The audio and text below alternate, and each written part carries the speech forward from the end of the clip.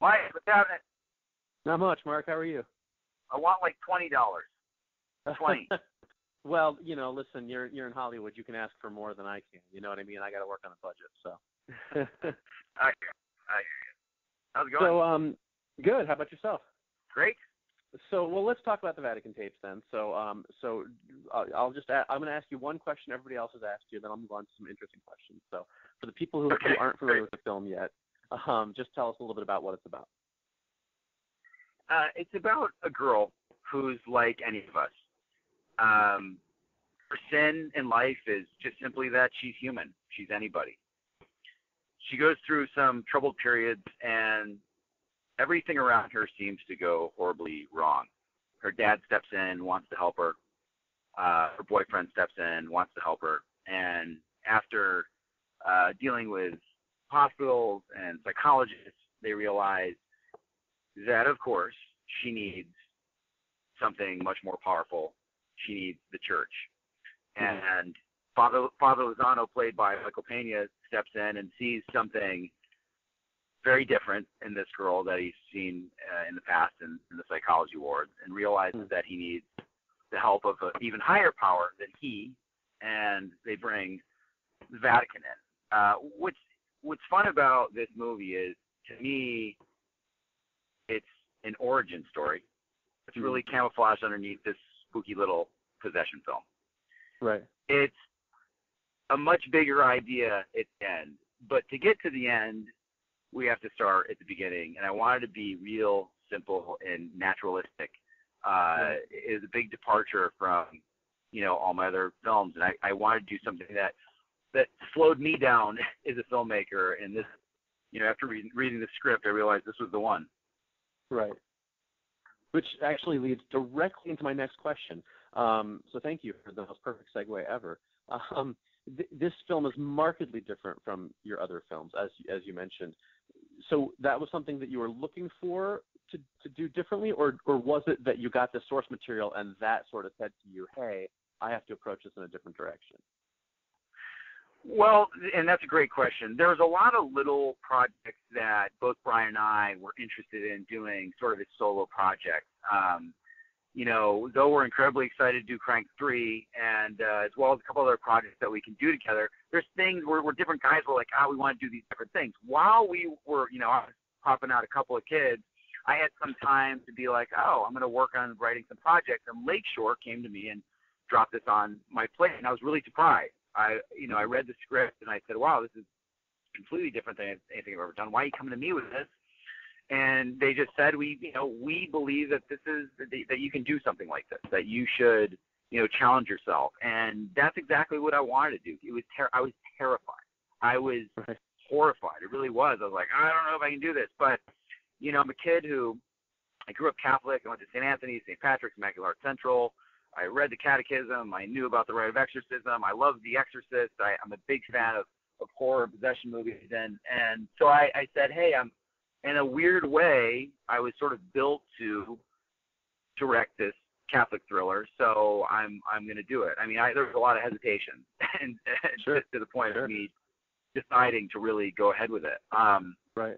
and and and furthermore, it was a it was a found footage script that Lakeshore had, and Lakeshore said we're not interested in the found footage aspect of this. What we'd like to do is make this more of a cinematic experience. So we wanted, Right. you know, take the found footage out. And I said, well, in order to do that, we we're gonna have to actually change the whole POV of the movie. And they said, great.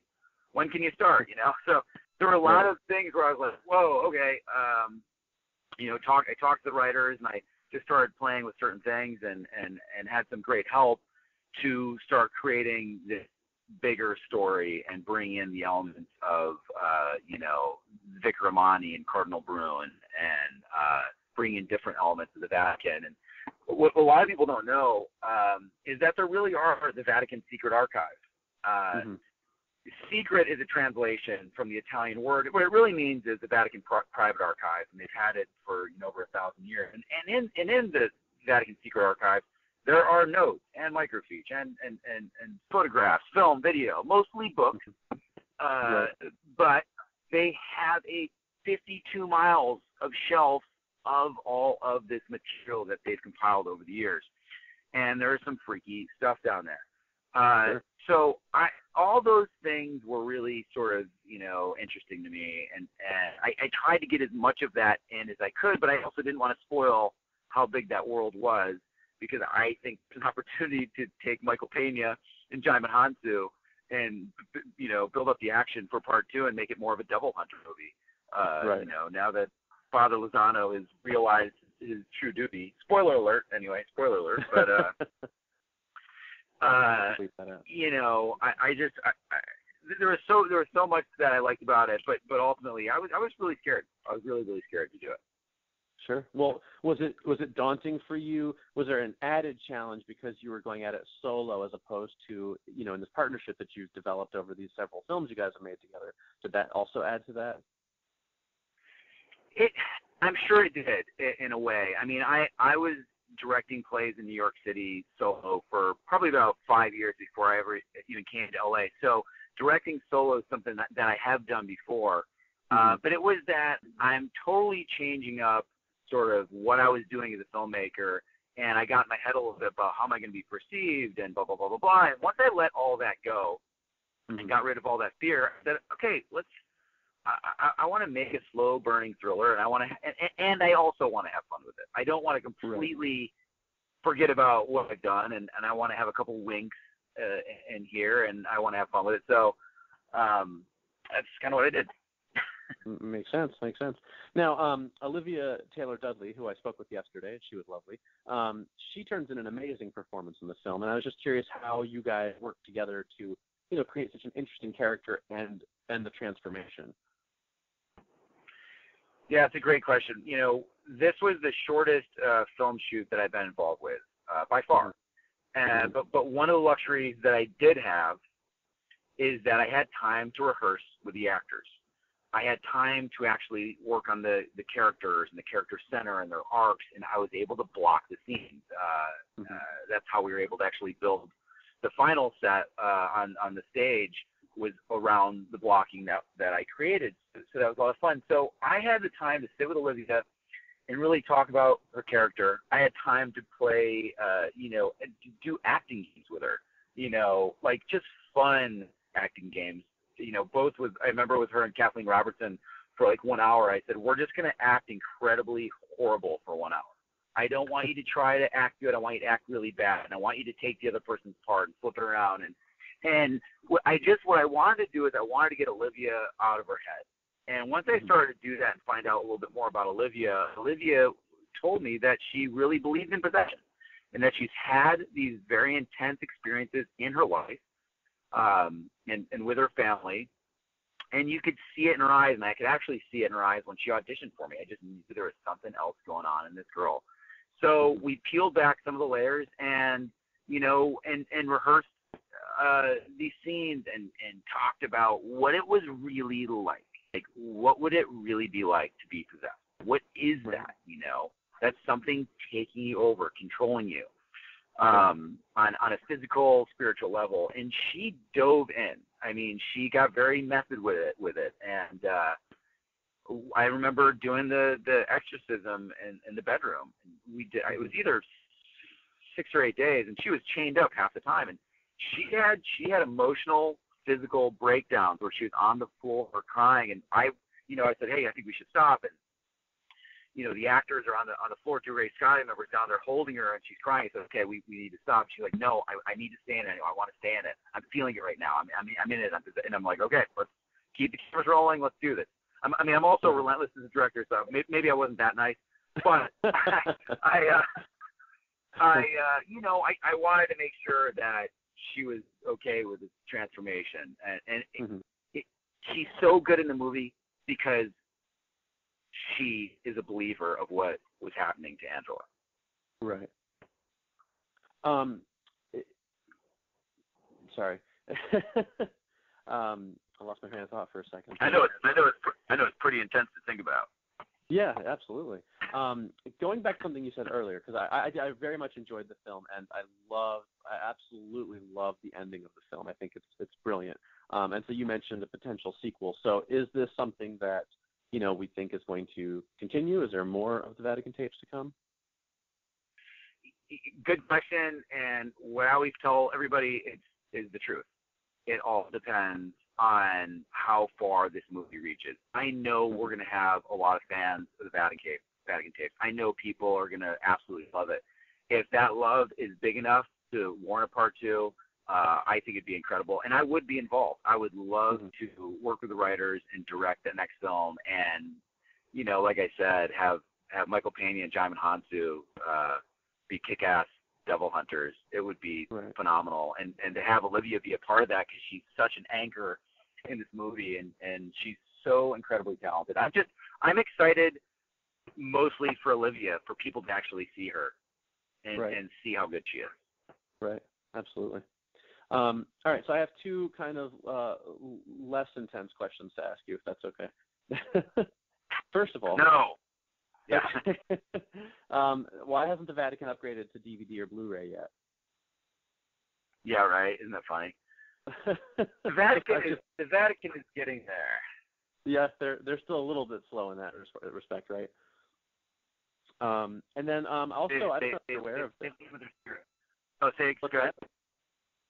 Go ahead. Um, uh, I don't know if you're aware of this, but your IMDb page has under under the trademarks category for you lists your trademark as graphic sexuality and violence. So I was wondering if you think that's a fair statement. Wow, I, my wife might not appreciate that. It it, it might be a fair fair statement as uh, some of the films that uh, I've directed, but I don't I don't look at it in that way. Um, right. But, but of course, if anyone was looking through my eyes, they might jump off a cliff. So, um, yeah, hey, you know, uh, we can we can live with labels in Hollywood. That's what they do to us. right, right, right. I, I personally thought it was That's a little bit. Uh, I didn't you know, I didn't know that. Yeah, Where does it well, say that?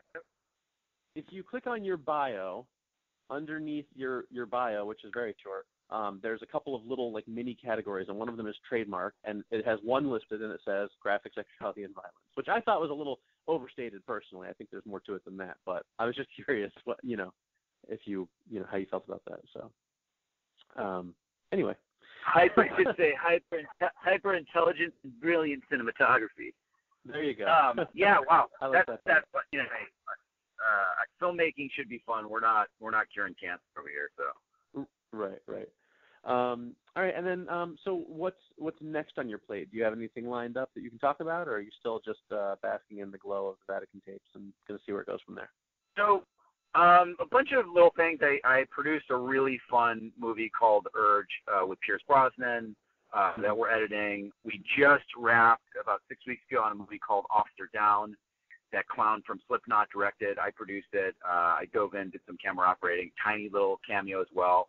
Uh. Very much a crank-like uh, movie. Uh, Officer Downe is um, based on Joe Casey's graphic novel. Uh, Chris oh, Byrne did the beautiful artwork in it. It's it's super super cool. So I'm excited about those films. Uh, I have, which was just released, was the Blumhouse Book of Nightmares. I wrote, mm-hmm. um, Jason Blum had me write one of the stories with Ethan Hawke and Eli Roth and Scott Derrickson. Uh, right. So that my story, my story is called Meat Maker, and uh, you can you can get that uh, anywhere books are sold, and it's on audio. I did the audio recording as well, which was a lot of fun. And then um, what else? Uh, I did. I'll be in the sixth episode. I did a guest starring role on It's Always Sunny in Philadelphia, which was super fun because those are all my buddies, Glenn and Rob and Charlie. Right. Uh, so so I started doing that, and and I'm really close to figuring out what I'm going to direct next. But I'm I'm also involved in producing another film right now. So as soon as that gets underway, I need to decide what I'm going to do next. Makes sense. So basically, you're what you're saying is you're very lazy and you hardly work at all. Yeah, I'm just a, I'm a bum. I'm a bum. Sounds like yeah. it. And I'm, and I'm trying and I'm trying to I'm trying to start a, my uh, my hops again here. We we we have this old hops farm up here, uh, a mm-hmm. couple hundred acres, and we're trying to reclaim the land and, and grow some hops. Wow. So just on top of everything else, a little farming to keep you busy. Yeah, why not? Yeah, why not? Keeps keeps the kids down. yeah, yeah, exactly. All right. Well, um, Mark, listen, thank you so much for taking the time to talk to me. Thanks so much. I really appreciate it, Mike. Take care.